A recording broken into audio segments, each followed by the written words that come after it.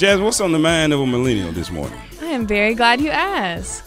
so, the Los Angeles Lakers Mm. welcomed the San Antonio Spurs Oh. to hand them their third L of the season. That's right, they are 0 3. Wow. The board reads Is this your king?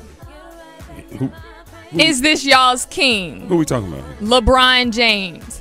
He has come into LA and not done anything for this opener. Wait a minute. now. Hold on. I will say, last night he scored impressively, Well- 32 and 14. Well, first of all, Is this y'all's king? he's never been, king y'all said, he's never been my king. huh? He, he's just playing for the team I, I, no, I pulled for, but he's never been my king. I'm Let's seeing. LA Bron Really? Yeah. all over social media. Is this y'all's king? So, so no, eh, eh, first of all, no. To answer your question, He ain't, Right. he ain't never been my king. Ain't gonna ever be my king. But what I would say is he's playing without Rajon Rondo and without Brandon. Ingram. so last night that he played without them. and he's you know he scored like like he normally does.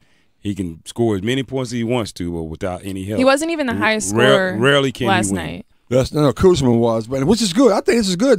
Now everybody knows Kuzma can score. So when, Mhm. when He missed two clutch free throws. LeBron did. Yes. well, he's- I mean, he did that last year. with 12 seconds left in Same overtime LeBron, right? to Yeah, win. LeBron, yeah. I mean, he's This saying is- LeBron. I mean, he has a lot to prove to me. I'm just saying. ooh, ooh. Yeah, he has a lot to prove to everyone Ooh, that was rooting for his He move to LA. He said, "Prove it to me." Yeah. Take me to your king.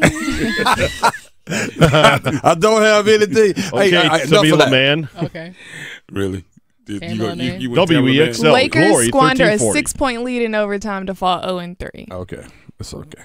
Thanks, Jasmyn. Well, you are welcome. there in, in in other sporting news. Mic drop. uh,